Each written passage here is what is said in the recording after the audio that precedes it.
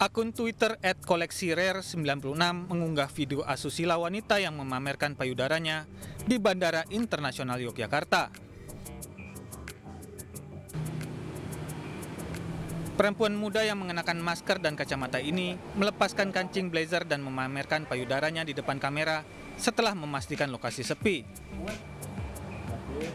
Video asusila yang telah ditonton lebih dari 20 ribu orang ini pun viral.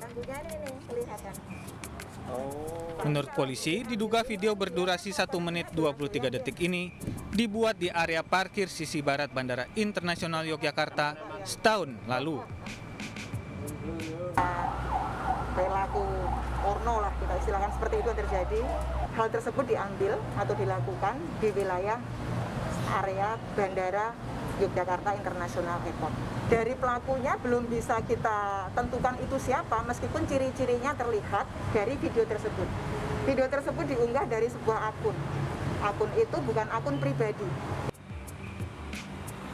Polisi masih memburu perempuan yang ada di video asusila dan pengunggah konten tak senonoh tersebut. Dari Kabupaten Probolinggo, Daerah Istimewa Yogyakarta, Budi Utomo, Anyus melaporkan.